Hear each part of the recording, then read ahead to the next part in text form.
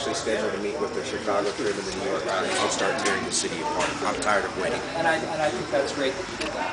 Um, our, my big frustration is we're dealing with, you know, FEMA's great to work with. They're very responsive.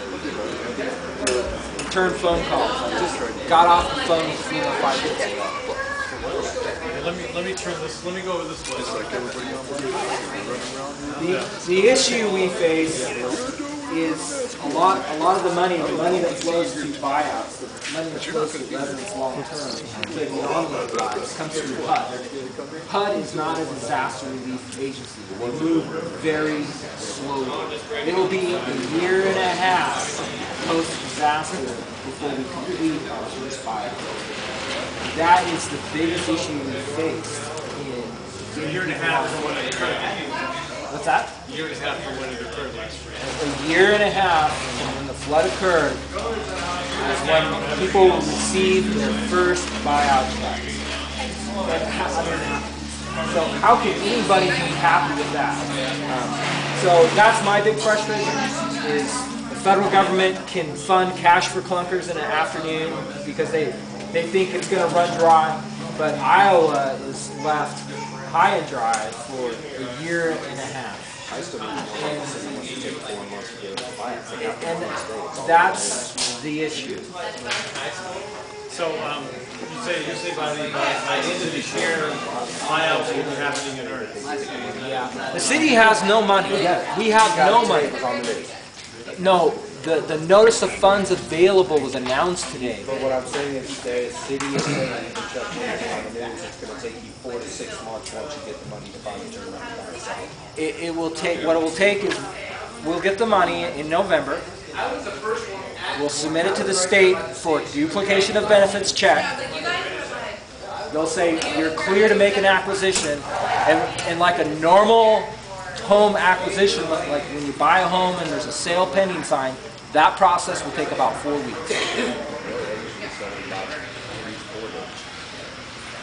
In most retail, I mean, most of us apartments, we know that it's about four. There, there is no intent to Beyond beyond the buyout issue, I mean, there's plenty of people who want to rebuild, right?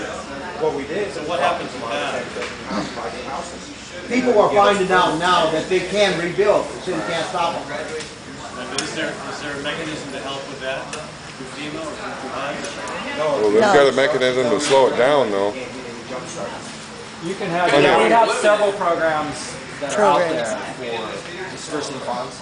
Uh, For, for dispersing funds, there's several programs set up to disperse funds.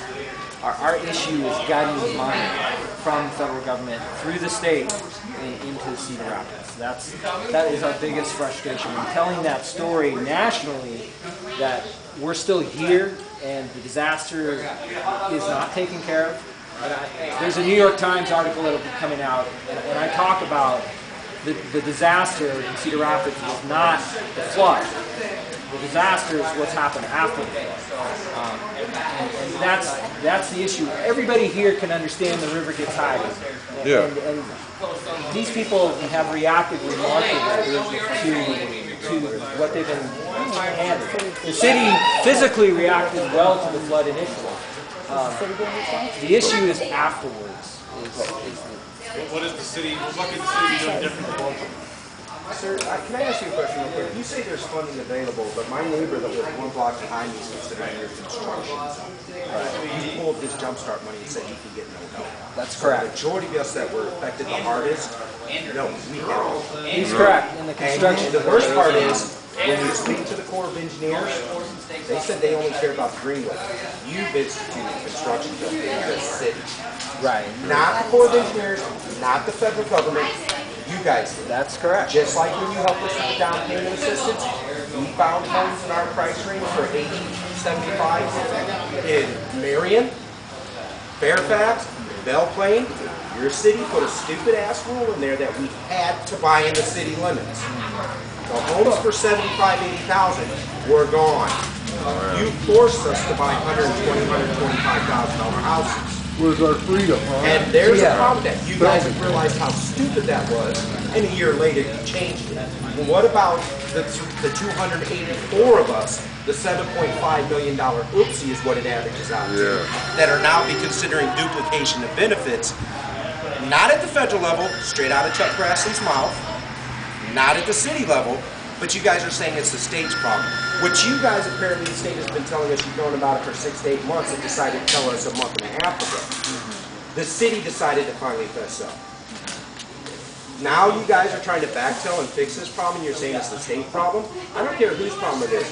People at Countrywide are in prison for lying when people were filling out the applications out. When your representatives that you hired for affordable network housing sat here and told me this would not be duplication of benefits, don't worry, your house will be affordable, when we buy you out, we're not gonna take this money from you. You guys were wrong. You sat right there and lied to me the same way Countrywide did to millions of people. And you guys need to either go to jail for lying to us, or you need to take that one cent local option tax, pony up to 7.5 million, and fix the problem that 284 families are having that are about to lose their homes because they can't afford to keep paying double payments and they can't afford a payment that's higher because the taxes are getting so damn high here because you guys put stupid rules in effect, not letting us rebuild, and then turn around and telling us we had to buy in the city limits. You guys realize it was a mistake, you changed it too late. And, and you're you're absolutely you're correct. I mean, I, I can't. You're correct. You have, don't you have the power to do this? To change it? Let him respond. I mean, I I like you, you have to say When are you what gonna you fix it? The Sounds I like think there's it a sound, let's just respond. What I want to know is when are you going to fix it? If the federal government, Mr. Grassley says it's not a problem. The city's now saying it's not a problem. You're saying it's the state. Where's your answer on how you're going to fix it for? You just came into it. But, yeah, well, give him a chance, give him a chance to say something about. Yeah, I mean, you, you are correct in, in, in, in everything that you said. And, and if you if I was in your situation, I'd be every bit as upset. Right. And I'm not mad at you, I'm mad at the city. And Just, you know. and while I'm here, you know, as the flood recovery director, and it's my role to, to, to take this. So, uh, you know, we are working with the state on that, and, and we will have an answer by the end of the month. Um, and so, we, uh, Do you think that will address the two hundred and eighty people who were in the alert? I think it will address duplication of benefits.